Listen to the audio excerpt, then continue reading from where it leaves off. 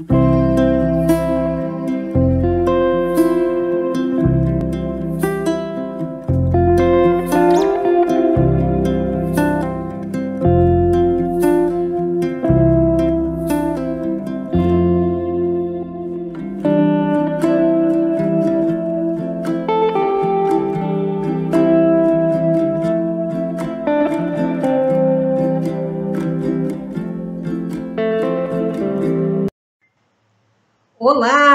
bem com você que tem Sol, Lua, Vênus, ascendente ou descendente sob o signo de Leão? Feliz 2022, que seja um ano muito melhor, um ano conectado com a espiritualidade, porque é um ano de ser e não de ter, então um ano para a gente acertar as arestas, encerrar ciclos, melhorarmos com enquanto pessoas é, sermos cada dia melhores, contribuindo para a evolução do nosso planeta. Bem, eu estou gravando no dia 8 de janeiro, tá? sem tempo determinado, porque às vezes o oráculo fala em semana, em quinzena, em mês, às vezes até semestre. Então, se você chegou nesse vídeo, é porque aqui tem coisas que você deve ouvir, prestar atenção e anotar, certo?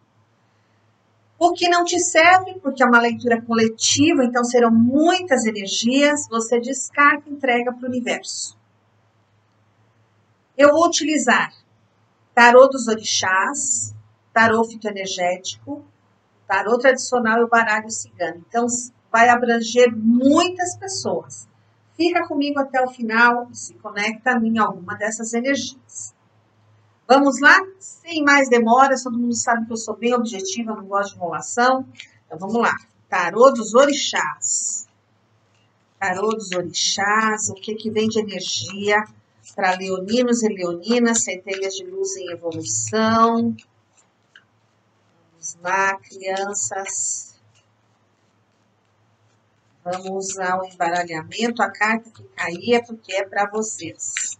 Opa, caiu gratidão. A lindíssima carta dos IBGs. Os irmãos Cosme e Damião. Energia de alegria, e eles aparecem indicando que vocês não devem ter medo de nada, que tudo vai dar certo. Agora não coma muito doce para não desequilibrar a saúde. Essa carta fala muito para vocês trocarem energia, virar página, ter mais pureza no coração, ter mais maturidade e a certeza de que o amanhã existe e ele vem repleto de alegria, assim como as crianças são muito felizes. Olha que carta mais linda, gente, que veio para vocês. Ó, e na linha do amor ela é muito boa também. Vamos ver o tarô fitoenergético banhos, chás, o que que já caiu duas aqui? Mas eu sei que tem mais uma coisa para dizer a vocês. Então, tem mais chakra para ser alinhado aí. Então, pode ser banho, chá, nós já vamos conversar. Eu sei que tem mais, a cigana já me disse, então deixa eu embaralhar, porque tem mais um, não são só duas lâminas, não. Leoninos e leoninas. Opa, é, tem muito desalinho. Vieram quatro lâminas, não é brincadeira. Bom, a primeira que veio é o chá verde, atuando aqui ó, no quinto chakra, para cultivar alegria e trazer essa criança interior. Olha o que eu falo, caiu os ibejis, dizendo da alegria das crianças, e vem essa, diga, os baralhos se, se conversam, né? Para estimular o poder da tua fala, aquela fala mais tranquila, mais alegre, é, que encanta, sabe? Então, assim, o chá verde consumido em suco, em chá, é aquilo que você mais gostar. Depois vem a salsa parrilha. Em todos os chakras, sugiro o banho. Faça o chá, tome o banho, tá? De salsa parrilha. Ela ajuda a formar um caráter correto, correto, ético e bondoso. A viver com a consciência tranquila Depois veio o jambolão. encontrado em casas de materiais naturais. Atua no primeiro chakra, lá no cóccix, né? No finalzinho da coluna, trazendo disciplina e bons costumes. E a unha de gato, que a gente acha em cápsula, em forma de chá, também atuando no primeiro chakra, onde você vai dar graças a tudo aquilo que você já tem e o que te cerca. Depois eu deixo na descrição do, do vídeo, tá? O nome de todas as ervas. Vamos pedir ao tarô um conselho, uma lâmina conselho para vocês nesse mês. Olha, já virou. Eita, nós. Foi rápido. A ansiedade é grande. E vem o belíssimo do é, de paus, ou valete de paus, assim, ou príncipe de paus, depende. Cada oraculista, né, chama de um jeito. Em geral, eu vejo essa carta como uma carta extremamente positiva. Olhem bem o desenho, tá? Ele está olhando para trás, o passado está olhando para ele. Porque você tem que tentar o novo. Encher o seu espírito de motivação e não ter medo de correr riscos. Deixar sua alma mais leve e evoluir na vida. Geralmente, os valetes em jogos falam de espírito jovem. Mesmo que você já tenha aí uma idade maior, mas fala de espírito jovem, de uma energia nova, e que muitas vezes alguns de vocês estão ainda imaturos espiritualmente e acabam escolhendo caminhos e pessoas erradas no seu entorno. Então aproveite, faça uma avaliação, faça um recomeço, trace novas rotas, novos caminhos, novas escolhas, novas possibilidades, invista nos seus sonhos, nos projetos. Então, assim, é uma carta muito ligada a recomeço, renovação, mas aquela renovação que vem de dentro, com alegria, com juventude, com dinamismo, com empenho, sabe? Modificação da sua aura geral. Essa carta diz que alguns de vocês é, tem que prestar mais atenção no que vem plantando, no que vem semeando aí na sua vida. Porque se você semeia confusão, você semeia discórdia, semeia fofoca, aí como é que vai colher sonho bom? Só colhe pesadelo. Então para, para, veja o que realmente te traz bem, que te faz bem e recomeça, tá? Na linha do amor, o que, que eu posso dizer de um valete de paus? Vocês estão aguardando notícias de uma pessoa com quem vocês estão envolvidos à distância. Talvez seja o relacionamento dos sonhos e seus planos se concretizem agora, tá? E eu vejo assim, mesmo quem já está no relacionamento, talvez seja a hora dar um passo a mais para um casamento, para estabelecer realmente uma relação de companheirismo, é parar de comparar com o que já viveu. Para de comparar com o passado, para de olhar para trás e vamos em frente. Quem está sozinho é sinal que você tem um amigo interessado em você.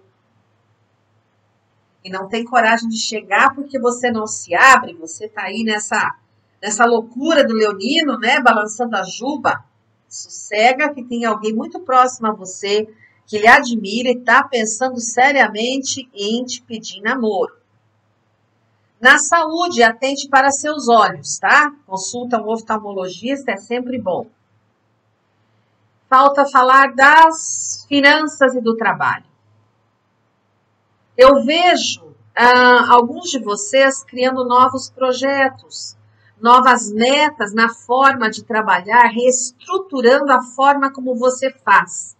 É como se você tivesse cansado da mesmice, da rotina, então você vai criar um novo jeito de fazer a mesma coisa, só que de outra forma, tá? Ah, vejo alguns de vocês conseguindo terminar mestrado, doutorado, que é a meta sua, né, de profissão, conseguindo com êxito, tá? simboliza também um amigo dentro do teu estudo, do teu trabalho, que pode te indicar, sabe aquele empurrãozinho necessário na hora certa? Pois é, ele está vindo aí agora, nessa energia que eu estou falando. Vamos nós ao baralho cigano, que é o que eu sei que fofoca muito, fala demais, e nós vamos falar mesmo, tá? Vamos lá, leoninos e leoninas, centelhas de luz em evolução, cartas. Dez cartas, sendo no fundo do baralho, já veio duas.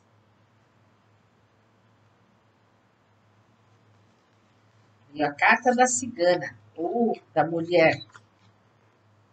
Energia de força, mas com delicadeza.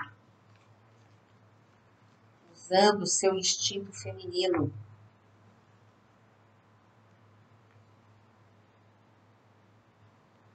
Calma aí, gente, que eu tô abrindo o jogo. Fiquem calmos.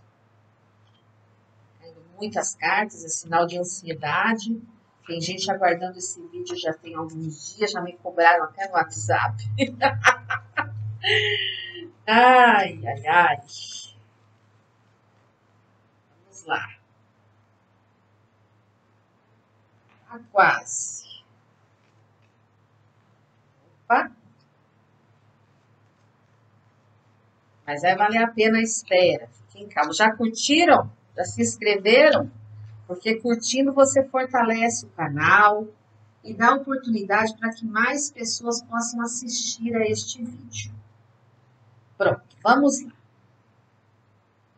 Energia central do jogo de vocês, a carta da Lady ou da cigana, como assim queiram chamar, tá? Carta da Lady, olhem bem que bonita que ela é, né? Ou da Cigana, carta de número 29. Bom, o que, que eu tenho para dizer para você? Essa carta é uma carta que, se você for uma menina ou alguém próximo a você, trata-se de uma mulher forte, de garra, que luta por aquilo que quer uma energia de determinação, de mistérios, de uma mulher que vai fazer tudo o que é possível para alcançar o sucesso na vida. Não é uma pessoa fraca, a vida já deu muitos desafios para essa mulher e mesmo assim continua firme e forte. O vento do destino balança, mas ela se endireita. Então, se é você, ó, parabéns. Se é alguém próximo a você, uma companheira, também tá de parabéns, tá? O lado negativo é que às vezes você é muito passiva. Está permitindo que pessoas queiram te conduzir, te mostrar um caminho. Cuidado. Porque, na verdade, você tem intuição e você sabe o que é bom para você. Então, se você está instável emocionalmente, fique atento para não deixar nada sem terminar. Projetos sem conclusões. Porque mais tarde o karma cobra. Tudo tem que ser acabado. No amor, use da sua sedução, do seu poder feminino, seja para quem está no relacionamento, para quem está fora. Eu vejo assim vocês numa energia muito forte, aquela energia amorosa, aquela energia que envolve de luz, que brilha, que chama atenção. Então é hora de solucionar os problemas dentro do relacionamento e para quem está solteiro aí, ó, conhecer um novo parceiro. Mas esta carta pede mais romantismo, mais cumplicidade, não só conquistar para depois largar de lado. Não. Use o romantismo, use a delicadeza, a gentileza. Olha só. No trabalho, eu vejo realizações no campo profissional, um momento de destaque, e eu vejo a tua criatividade, a tua inventividade, porque Leonino gosta de inventar, né? E vai dar certo. Então, confie na sua intuição. É, eu vejo apoio de mulher, energia feminina no seu local de trabalho.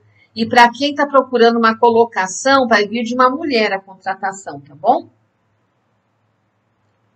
É, que mais que eu posso falar aqui? O fundo do baralho veio a carta da cruz, ó.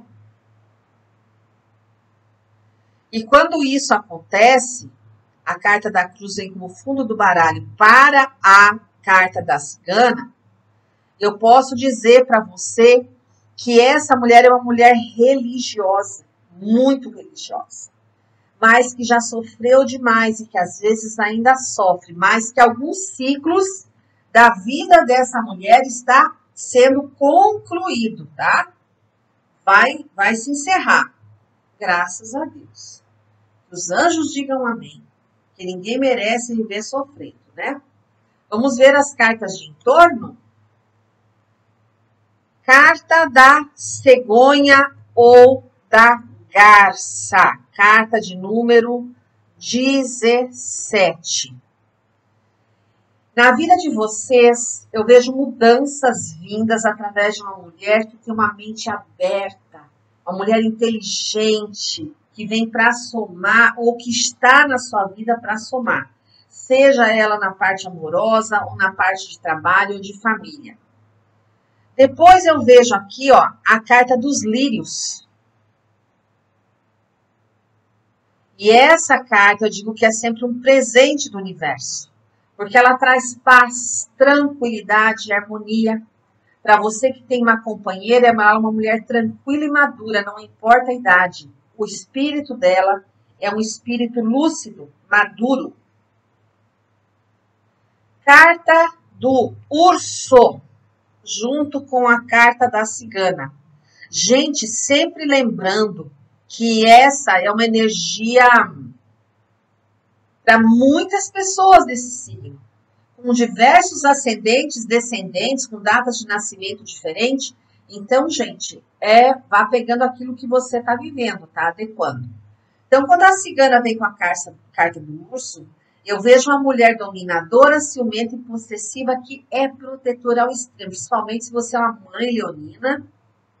Eita, eita, eita. Agora, se é uma chefe assim, o teu sucesso vai vir com a ajuda dessa mulher tá? Depois vocês têm a carta do próprio cigano. Olha só. A cigana e o cigano. E aqui eu vejo um casal. Uma ligação kármica formada no astral. E também vejo um homem com personalidade feminina. Um leonino que ele é gentil, ele é diferente de outros leoninos. Não é, não estou dizendo que ele seja é, homoafetivo, não é nada disso.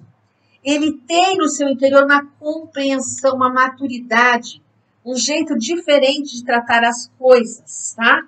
E esse homem faz parte da sua vida, por isso que vocês são um casal traçado na espiritualidade, porque enquanto a mulher leonina é aquele arrobo, aquela juba que balança, esse homem que está na sua vida, ele é um homem zen, ele é um homem que compreende, ele é um homem de alma feminina.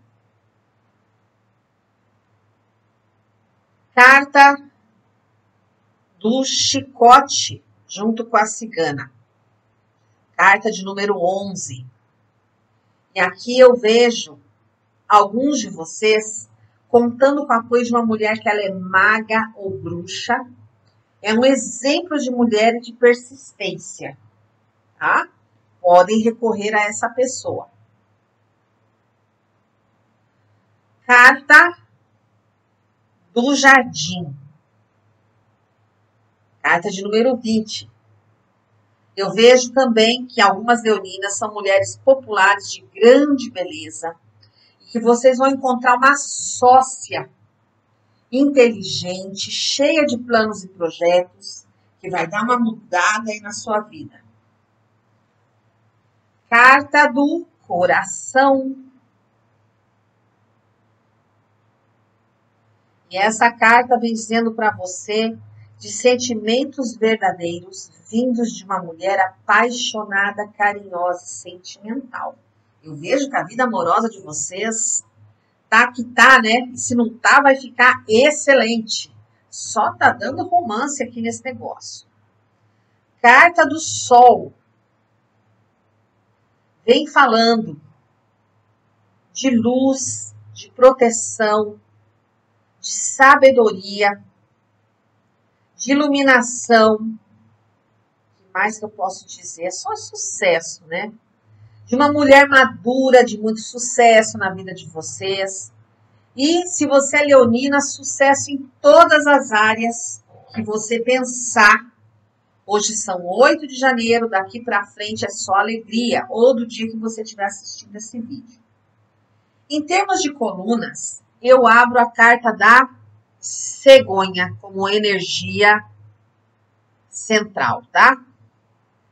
Carta da cegonha, carta de número 17. É uma carta de mudança, de movimento, ah, mas que são coisas boas. Eu vejo ganhos que estão para chegar de forma inesperada, que vai te trazer alegria e realização. Quando eu espelho ela com o fundo do baralho, que é a carta da cruz, eu, o baralho diz para você de mudanças que requerem muita fé, porque vai, vai ter que alterar, né, alguns planejamentos que você tinha aí para 2022. Essa mudança vai mudar sua rotina mesmo, tá?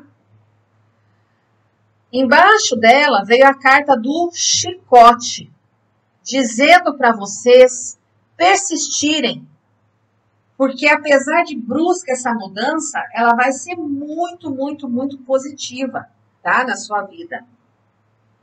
E em cima dela vem a carta do Sol, confirmando que a sua energia está em alta, que essa transformação é mais do que necessária, essa mudança é mais do que necessária e que está muito propício para uma gestação ou uma adoção, se assim vocês desejarem, tá? Quando eu olho como energia central a linha de baixo, eu encontro a carta do urso, tá? E esse urso, ele fala muito em excessos. Seja em relacionamento, seja no trabalho, seja na saúde, cuidar com os triglicerídeos, precisa de dieta, então, assim, uma carta meio densa, meio pesada, né? Mas ela aconselha você a não ter neurose para resolver as coisas, porque você está muito sobrecarregado. Precisa parar, respirar, dar uma relaxada aí no cérebro e cuide com falsas amizades aqui, tá? Ó, cuidado, pode ser magia, você é muito especial, desperta inveja, a gente já sabe como é a vida do leonino, né? A pessoa, quando briga, incomoda a treva, que é uma tristeza. O fundo do baralho vem com a carta da cruz. E aí, o baralho diz para você que algum problema que está tirando tua noite de sono vai finalizar. E aí sim você pode lutar pela sua felicidade. Quem antecede a carta do urso é a carta do chicote. Você deve tentar tomar o controle de algumas situações usando a sua proteção espiritual. Ai, como eu faço isso, Marisa? Vela de sete dias do anjo da guarda, Ho'oponopono, muita oração, porque algumas coisas você está sendo influenciado por gente negativa. Saia dessa vibe. Carta do Jardim. Projetos e planos vindos dessa pessoa falsa, dessa amizade falsa que você tem, que iludem e enganam. Então, use sua proteção espiritual, tenha sabedoria para não cair na armadilha dessa pessoa, tá bem?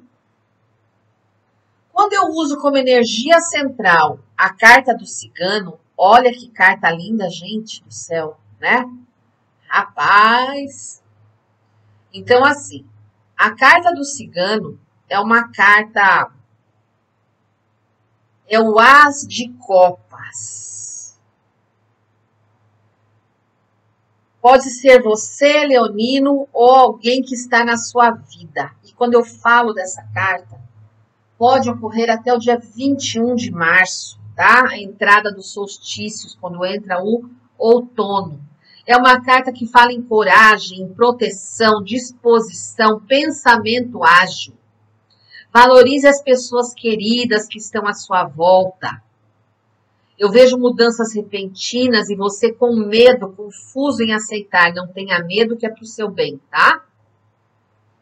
E no amor fala em uma fase sólida, em que as coisas devem ser resolvidas com muito diálogo. Não tem com que se preocupar.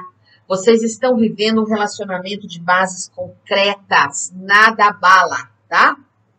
E para quem está aí sozinho, anuncie a entrada de um homem no seu caminho, um homem interessante, sensual. Olha, se for igual esse, Jesus Havana. e no trabalho, eu vejo assim um bom momento para melhorar as coisas, uma fase produtiva, como eu falei, vocês fazendo o mesmo, mas de forma diferente, sabe? E isso é bem interessante, vai agradar as pessoas, tanto chefes como sócios, mas você é muito criativo. Ela vem precedida pela carta do Sol. Então, assim, a carta mais top do baralho vem precedendo essa carta. E aí eu vejo aqui sucesso em todas as áreas de você, Leonino, ou esse homem que vive com você, Leonina, que é um homem saudável, progressista, que pensa em somar com você. E quando eu vejo o cigano com a carta da cigana, novamente eu vejo casal, né? Esse casal formado aqui no astral, certo? E a última coluna, que é a mais importante, eu acho, né? É a coluna que, assim, é, pode acontecer em alguns dias, mas, assim, um futuro próximo, sabe? E aí eu vejo aqui a carta dos lírios. Os lírios, gente, são um buquê de flores que a espiritualidade traz para nós. É o rei de paus. Então, assim, uma carta positiva que você deve se colocar sob a proteção da espiritualidade, dos seres de luz, para ser direcionado, para você tomar o controle, as rédeas da sua vida. Mesmo que você esteja desmotivado, olha, show energia ruim, tá? Show. Já recomendei ali chá e erva para você dar um upgrade aí na sua aura. Mas se não resolver, me procura para fazer uma limpeza de aura, certo? Quando eu junto a carta dos lírios com a carta da cruz, que é o fundo do baralho, o que que o baralho cigano fofoqueiro no mundo quer te falar? Ele está te dizendo que muitas vezes você se coloca numa posição de instabilidade emocional e te falta paz. E aí a tua vida sexual, ó, libido lá embaixo, não sente prazer, não tem prazer em nada. Por quê? Está permitindo que energias externas, que obsessores influenciem no seu comportamento. Você não deve permitir que isso aconteça. A oração é o nosso maior escudo. Ore, faça roponopono diário, tá? Quando eu vejo aqui, ó, a carta do jardim, que vem embaixo dos lírios, o baralho quer te contar que, às vezes, essa sua frieza, essa sua insegurança, vem da falta de planejamento. Você deve ter planos seguros, positivos e terminar esses planos, porque muitas vezes você está deixando projetos sem conclusão aí pelo caminho. Isso daí não faz nada nada bem, só gera karma, tá?